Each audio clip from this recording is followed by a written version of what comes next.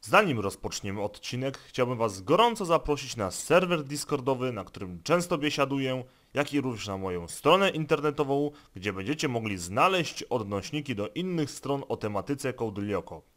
Linki do tych dwóch rzeczy znajdziecie w opisie. Cześć, siemano wszystkim. Z tej strony jak zwykle ja, no i troszeczkę tym, tym razem inaczej zaczynamy niż w każdym ostatnim odcinku, albowiem troszeczkę tak miałem to pomysł na ostatnim live, tak po live pod końcówkę, że zacznijmy właśnie w tym stylu, że płyniemy tu sobie widzicie z Kid Blooddirem pod kątem 45 stopni, Eee, no i taką wyjściówkę sobie, słuchajcie, postanowiłem zrobić. Więc e, zapraszam was wszystkich do niniejszego odcinka. No więc co, słuchajcie, jesteśmy teraz w garażu Skida. Nowa aktualizacja odblokowała nam przede wszystkim e, największą rzecz, na którą czekaliśmy. Morze cyfrowe. Od tej chwili jesteśmy w stanie przenieść się do morza cyfrowego, wyjść na tak zwane, wyjść na tak zwany świat. Jak Lioko jest takim naszym domem, tak wreszcie mamy szansę wyjść, słuchajcie, na nasze podwórko. Inną ciekawostką, jaką możecie tutaj zauważyć, jest sam fakt, że troszeczkę tu się zmienił wygląd, jak możecie zauważyć. Mamy tutaj takie falujące falującą granicę, która mogłaby sugerować, sugerować nam tutaj taką styczność z morzem cyfrowym. Eee, albo po prostu z innym światem, bo w sumie tam jeszcze nie mamy morza cyfrowego, a raczej jest samo ten. S- są pozostałe sektory, więc e, wyklęty, nie chrzeń tutaj głupot. W każdym bądź razie, słuchajcie, eee, no i kamera mi się zablokowała.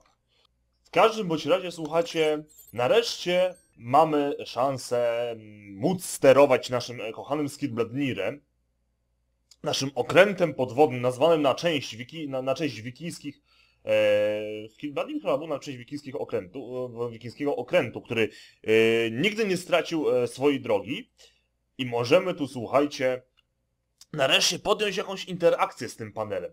Zaraz do tego przejdziemy. Jedyne co zrobię, to w międzyczasie, za- zanim tu będę objaśniał, jak tu widzicie, mamy e, różne tutaj takie okienka nawet do przyłączenia, zanim to wszystko będę objaśniał, od razu rozkażę tutaj całej naszej e, paczce przenieść się do garażu Skida. Już im tutaj sobie, właśnie tu mogliście zauważyć, już sobie tutaj ich ustawiłem. Oj, oj, oj, garaż Skida, garaż Skida, żeby że, że, że z żadnym tutaj nie było problemów. Co jest interesujące, samym skidem można sterować bez udziału kogokolwiek w mm, skidbladnirze. Możemy go po, prostu, no nie, nie, nie, nie nazwę tego autopilotem, bo wciąż jednak z, z niego korzystamy bezpośrednio tutaj za pomocą komend, ale nie potrzebuje on załogi, żeby być kontrolowany. W każdym bądź razie, jak tutaj widzicie, mamy e, kilka tutaj okienek.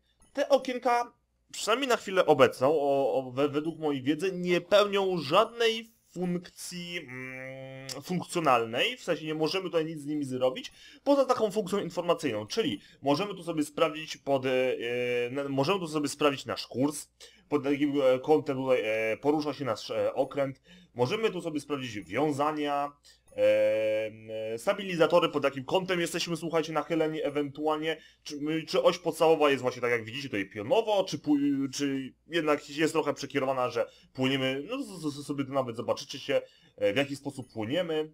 Status naszych ta- tarcz możemy zauważyć. No masa jest tutaj, to, o widzicie może torpedy, różne takie bardzo przydatne informacje, które na pewno jeszcze w przyszłości nam się przydadzą.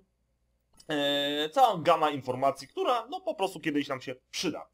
E, w każdym bądź razie, tutaj mamy jeszcze ewentualnie sonar, który w chwilowej obecnej nie pełni żadnej znaczącej roli, z tego względu, że no jeszcze potworów w morzu cyfrowym nie ma i nie ma zwyczajnie z kim się bić, ale liczę na to, że w przyszłości ten sonar będzie nam bardzo użyteczny.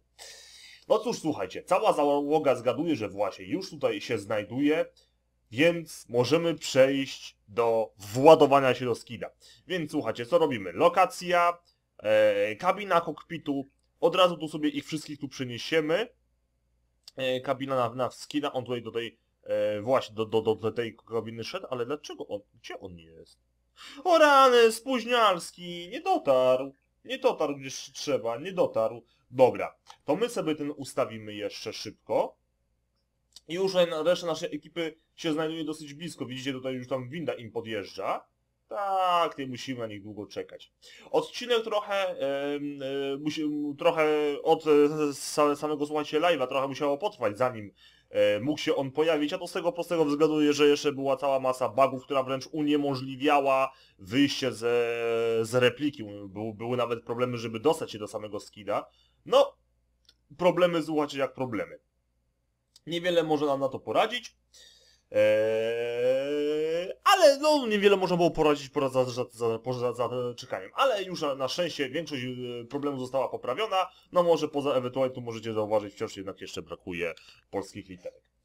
W tej chwili mamy już tutaj wszystkich oczekujących, możecie sobie zobaczyć na minimapie, e, na załadunek. Teraz co musimy zrobić, to wpisać komendę sktrans i wyświetli nam się to, słuchajcie, taki, e, takie okienko, które właśnie nam ma pomóc w przetransportowaniu całej ekipy do naszego skida. Jak to możecie sobie zauważyć, jeżeli tu szukamy komendy sktrans, mamy e, dwie możliwe e, opcje załadunku. Możemy załadować, właśnie nie mogę jej znaleźć, ale możemy sobie załadować do skida opcję, jak i e, ze skida do, e, świata, do świata wirtualnego, czyli na, na, na wiecie, no, no, no, no, na ziemi taką już ubitą, nie?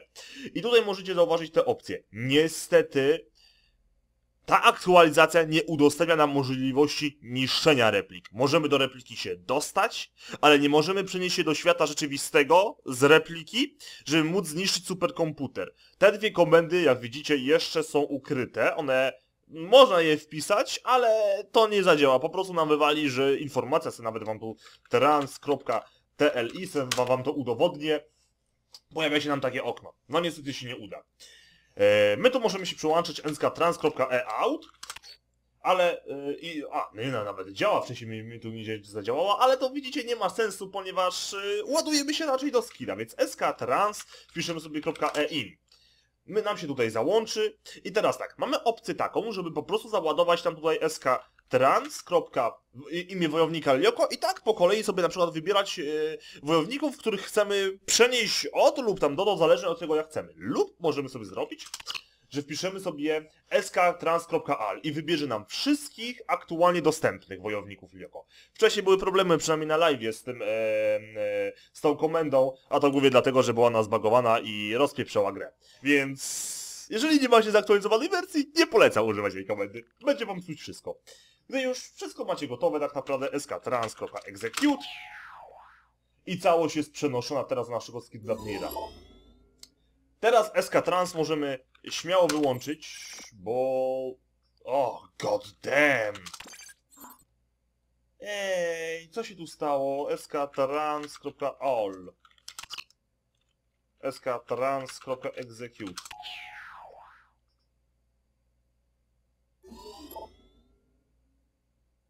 Dziwnym trafem pierwszym razem jak to sprawdzałem wszystko działało. A teraz nie działa. I nie mam zamiaru w ogóle tym się przejmować. Nie będę się tym przejmować. Mam to absolutnie gdzieś. Nie. Nine, nie, no. Absolutely no. Słuchajcie. Mamy już minimalną załogę, składa się na trzech tutaj członków, więc śmiało możemy wyruszyć na, na wody. Jedyne co nam pozostało zrobić, to wyłączyć przede wszystkim tych tutaj przeciwmisiów, którzy lubią sobie z nas żartować i oddokować nasz okręt. Mamy teraz pełną kontrolę, możemy tutaj może sobie przesunąć tutaj na nasz okręt. Momencik, może zadokuję, żeby chociaż była ta animacja pokazana. Jeszcze raz, jeszcze raz, jeszcze raz sobie tutaj e, zadokowany. Oddokujmy, żebyście chociaż zobaczyli, jak to pięknie wygląda. O. Podpory są, oddoko- podpory są zabrane. Możemy wreszcie wyjść z garażu. Jak widzicie, nie ma tutaj większej e, filozofii, jeżeli chodzi o samą, e, same, same sterowanie w tym miejscu. E, przede wszystkim na początku co co musimy zrobić, to wybrać sobie z którego sektora tutaj chcemy się wydostać. Ja bardzo lubię, słuchajcie, las, więc po raz kolejny wybiorę sobie sektor leśny i musimy tu sobie odłączyć ten cały tunel, żeby móc się wydostać na zewnątrz. Nie radzę wam wyłączać okienka z tunelem, z, zanim, w, w, inaczej, nie radzę wam wy, wyłączyć tego okienka, jeżeli jesteście w trakcie wychodzenia z tunelu, bo konsekwencje mogą być... się w. Co?!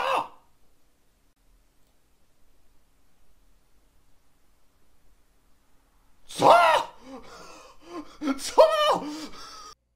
Całkiem poważne. Każdym bądź razie. Eee, Odetnijmy sobie ten tunel, żebyśmy mogli wyjść. Eee, oczywiście o, ustawiamy sobie...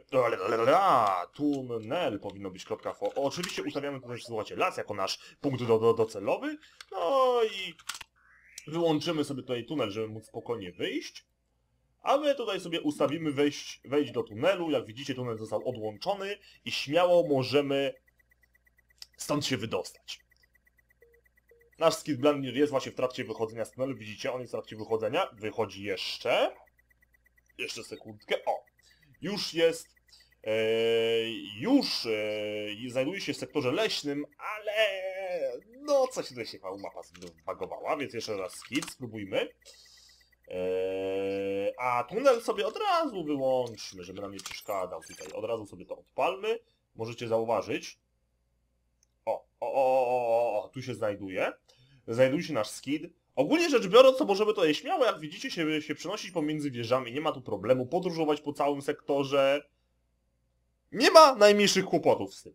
Jeżeli chcecie szybko się przydostać do, do, do, się, się przydostać do jakiejś wieży, która została zajęta przez Ksanę, to nawet to nie wiem, czy nie jest lepsze niż e, pojazdy w Lioko, więc nawet bym wam pole, polecał od razu przybliżyć się do naj, najbliższej możliwej wieży, przy niej zadokować i od razu iść do wrogiej wieży. Ale my tak nie zrobimy na razie. My sobie pójdziemy do morza, bo morze jest ciekawsze, prawda? Prawda. Musimy tu sobie zaznaczyć morze i teraz co robimy, to zanurz. Pięknie ta spirala wygląda, pięknie, tylko że on nie, nie, nie, bawi się, że do, do, do drzewa się wbije. Ale jak zauważyliście, o, to był taki minimalny błąd, na całe szczęście. Ale jak mogliście zauważyć, wbiliśmy się, słuchajcie, w morze i oto jesteśmy. Niniejszym mamy wreszcie możliwość zwiedzania wirtualnego, e, wirtualnego morza, morza cyfrowego. Niestety na chwilę dość e, wizualnie ubogiego, ubogiego możecie zauważyć, bo niestety ale w ogóle tutaj nie widać e, tych całych konstrukcji. Liczę na to, że zostanie to naprawione w przyszłości, albo poprawione, być może i modelki po prostu miały za dużo do roboty, aczkolwiek w chwili aktualnej no jest black, absolutely black. Jest czarno. Coś tam jednak, widzicie, widać coś tam z tyłu, aczkolwiek, no niestety jest kiepsko. Jedna rzecz, którą absolutnie zapomniałem, słuchajcie, zrobić, to Jedna rzecz, jaką zapomniałem wam powiedzieć, to przede wszystkim repliki. Zanim do nich popłyniemy, trzeba przede wszystkim je znaleźć, a robimy to za pomocą Hyperscan. Niniejszym pojawia się nam, słuchajcie, takie okno, dzięki któremu będziemy mogli odnaleźć każdą możliwą replikę, która została utworzona przez naszego kochanego wirusa superkomputerowego. E, mamy do wyboru kilka opcji. Przede wszystkim najpierw e, musimy wybrać kontynent lub ewentualnie orbitę. Tak jest. Według, słuchajcie, komend możemy tu sobie na przykład, widzicie, Europa, Ameryka Północna, Południowa Azja, Oceania, możemy nawet oceany sprawdzać, że gdzieś pod wodą przypadkiem superkomputer się nie znajduje, na Antarktydzie, jak i również na orbicie. Możemy przeszukiwać orbitę, no, nawet jak wpiszemy sobie hyper, e, hyper e, scan.orbit, z jakichś nieznanych mi przyczyn nie mogę wpisać tej komendy, prawdopodobnie robię błąd językowy, nie mam zamiaru przy nim dłużej siedzieć. W każdym bądź razie hypenscan.europę Europę zaznaczamy sobie kontynent, który zamierzamy sprawdzać. No i dalej jedyne co robimy to wpisujemy hyperscan.execute. I w tej chwili zaczyna nam przeszukiwać e, każde możliwe miejsce pod, e, na, na danym kontynencie, żeby znaleźć e, wrogi superkomputer. E, widzicie, że troszeczkę to może trwać, bo licznik trochę nam wskazuje nawet na dwie doby ewentualnie, więc warto tu użyć zegara. Dlatego musiałem tu wykonać drobne cięcie i się cofnąć, bo no to troszeczkę jest jednak za, zbyt długi czas. Yy, I warto byłoby przeskoczyć za zegarem, a nie można użyć zegara, jeżeli jesteście niezadokowani. Jeżeli się znajdujecie w cyfrowym morzu, gdziekolwiek idzie, skillbladder jest narażony na niebezpieczeństwo, zegar nam się blokuje. Dlatego to je sobie w górach zaparkowałem, jak widzicie. No i możemy... Ech, gra mi się troszeczkę zbagowała i musiałem restartować całą grę. Niemniej jednakże, teraz już mogę bez przeszkód użyć zegara, no i po wyznaczonym czasie nareszcie udało nam się znaleźć superkompu wrogi superkomputer, tym razem w Chorwacji. Niestety nie ma opcji, żeby szukać w pojedynczym kraju, można tylko szukać po kontynencie. Chciałem wpisać Poland, niestety się nie da. No ale trudno. Mamy, słuchajcie, już jednym w Chorwacji. Teraz jedyne, co musimy zrobić, to zaimportować ten, e, zaimportować e, e, współrzędne tej repliki do naszej mapy cyfrowego morza. A robimy to poprzez ten sposób. smap wpisujemy, e, wywołując mapę cyfrowego morza i następnie wpisujemy smf komendę smap.hyperscan. Dzięki temu mamy teraz e, importowanie tych całych współrzędnych i możemy zauważyć, uuu, bliziutko. Nawet całkiem bliziutko, nawet nie wiecie, nie za blisko troszeczkę. Wiecie co? Hyperscan, bo może chciałem troszeczkę dalej. Hyperscan, kropka jeszcze raz Europę. Sobie za- zacznijmy, bo to wcale nie jest e, wielki problem, żeby sobie to po prostu jeszcze chwilę, chwilę nie przeczekać. O! Chyba, że już nigdzie nie ma. To nie zostawia nam to żadnego wyboru, trudno. Jakoś sobie poradzimy. Dobra, słuchajcie.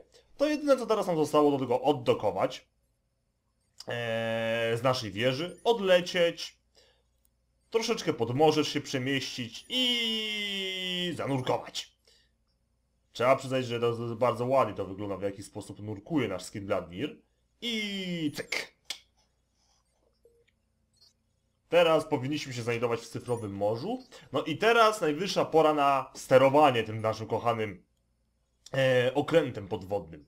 Przede wszystkim pierwsze co nam się bardzo przyda to e, mapa, która nam pokazuje w jakim mniej więcej miejscu się znajdujemy. Ciekawostką jest to, że niestety tam, tej mapy widzicie nie da się ani tu przesuwać, ani nic. Eee, więc jeżeli dojdziecie do krańca tej, tej całej mapy, to nie znajdziecie wstrza- stale żadnej ściany.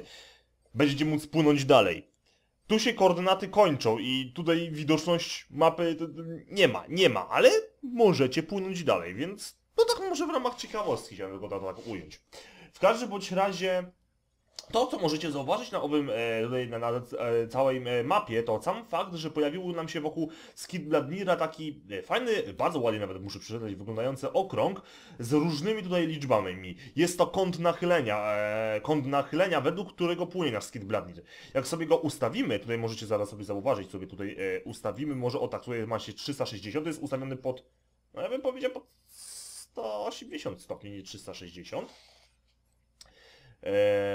Ale jak sobie na przykład teraz ustawicie e, skid kropka, e, na przykład 45 stopni, on się tu się widzicie, tu się wszystko zmieniło i tu go sobie odpalicie turbośrubę, to on pod tym kątem będzie teraz płynął. I tu nawet możecie zauważyć, że ta cała ta strzałeczka symbolizująca nasz okręt również tutaj przemieszcza się pod innym e, kątem. W ten sposób, słuchajcie, bezpośrednio przemieszczamy się po cyfrowym morzu. Wprowadzając znowu na przykład skid.180 z, ski- skidy.180 stopni, znowu zmieniamy kod naszego nachylenia i znowu możemy zmienić kierunek, w jakim pł- płyniemy, em, w jakim po prostu, słuchajcie, płyniemy. Em, Płynięcie może być troszeczkę toporne, jak widzicie, bo szczerze powiedziawszy, troszeczkę trwa długo. Dlatego zawsze warto korzystać z węzłów, które możecie tutaj, to, to tutaj zauważyć. Od razu określmy sobie ten jego kierunek 45 stopni. Skid.45 stopni.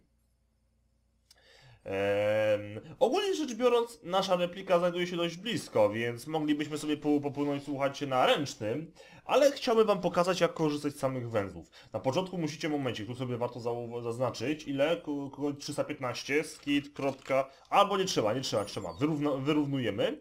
Musimy podpłynąć najbliżej, jak się da naszego węzła, a następnie wyrównać, jeżeli się tylko pojawi taka opcja, by móc po prostu się do niego zbliżyć.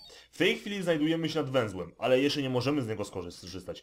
Musimy obliczyć odległość, musimy obliczyć trasę, względem której, względem której nam ma nas poprowadzić owy węzeł, a raczej, żeby być bardziej ścisłym, em, e, naszą trasę do innego węzła. Aktualnie żadnych węzłów nie mamy. Ale możemy to zrobić e, w inny sposób.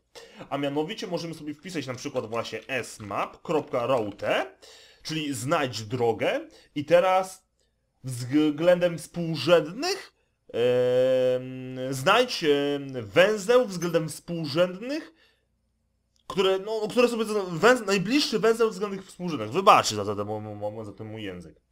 za, za moje kochane jąkanie się. W tym wypadku mamy tutaj koordynaty, sobie zaznaczyłem, że mam ochotę no gdzieś tu w tym miejscu, słuchajcie, wylądować i jest to na przykład 600 6777, bla, bla, bla. Więc to sobie, słuchajcie, e, przepisujemy, 7257. Widzicie? Koordynaty są ustawione i teraz będzie nam szukało najbliższego możliwego węzła w tym zakresie. Więc my jedyne co słuchajcie oczywiście sobie robimy to w tym wypadku wejść do węzła. Wszystko tutaj się nam pięknie zatwierdziło i my się tutaj przenosimy. I proszę bardzo, bam bam bam. Jesteśmy. Wylatujemy w najbliższym możliwym, słuchajcie, miejscu e, tych koordynatów i znaleźliśmy w ten sposób nowy węzeł. Jest to dobra metoda, jak musimy się przenieść gdzieś w bardzo duże odległości, bo nam by to, to właśnie chwilę zajęło. A nie chce nam się zwyczajnie w świecie pływać, nie wiadomo ile. My sobie oczywiście z powrotem e, się, bo nie chce nam się przecież. E, musimy troszeczkę tutaj pod kątem, e, tu jest 90, 45, weźmy pod kątem kit.70 kit stopni może. E, musimy tu trochę podpłynąć bliżej, bo nam nie widzi tego to, e, węzła. Ok, wyrównajmy automatycznie. No i przenieśmy się od razu z powrotem może. E, no i mamy, słuchajcie, jeszcze ewentualnie dwie możliwości. Możemy wpisać sobie na przykład smap.route i w tym wypadku identyfikator naszego e, e, na, e, na naszego węzła. Lub ewentualnie możemy jeszcze raz, słuchajcie, spróbować się przenieść gdzieś bliżej, bo tych węzłów na pewno jest o wiele więcej. Nie chce mi się płynąć tutaj, słuchajcie, na ręcznym. Więc ustawmy sobie może jednak smap.route i spróbujmy sobie wybrać właśnie najbliższy możliwy e, najbliższy może, e, możliwy e, węzeł, więc po prostu sobie wpiszmy tutaj e, koordynaty, cyk i po prostu się tam przenieśmy. Inną ciekawostką jeszcze jest to błąd, który głupi popełniłem, słuchajcie, to sam fakt, że można przenieść się z jednego węzła do tego samego węzła. Po prostu wystarczy wpisać jego koordyna ko ko koordynator. Eee, nie koordynator, a jego identyfikator. I wtedy przeniesiecie się, się, zrobicie taką pętlę z, od jednego węzła do tego samego jakby, nie? Eee, wiecie, że do tego wpłynę i z tego wypłynę. Hmm, dwa węzły tuż koło siebie? Interesujące. Aczkolwiek, słuchajcie, no... Chciałem jak najbliżej, a okazało się, że, że, że odległość jest taka sama. Dobra, pal to licho, słuchajcie, przez 6. Kurs skid, 225 stopni. Nie wyrównaj, nie wyrównywaj, nie wyrównywaj. O, oh, god damn!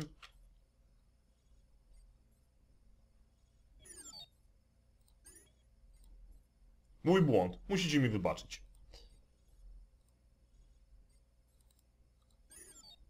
Turbośruba. Proszę bardzo.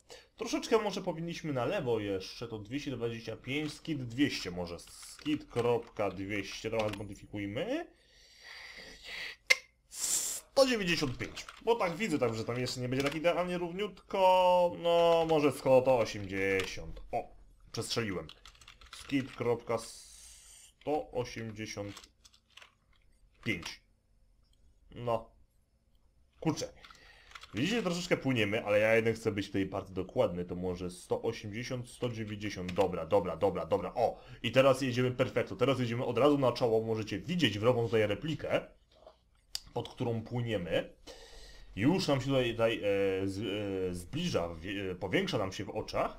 No i teraz musimy znowuż wyłapać moment, żeby e, Skidladin zajarzył nam na tą replikę. Czekamy, czekamy, wyrównywaj. O!